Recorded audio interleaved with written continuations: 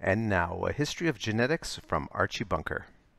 Look, Archie, I, I, I don't- want to argue with you. I'm just stating a fact. All blood is the same.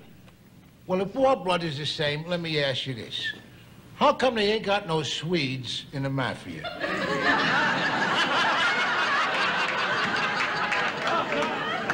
What's that got to do with anything? Because your Italians got a lock on it, that's why. It's in their blood. The same way it's in your black's blood to do the Scooby-Dooby-Doo. Oh.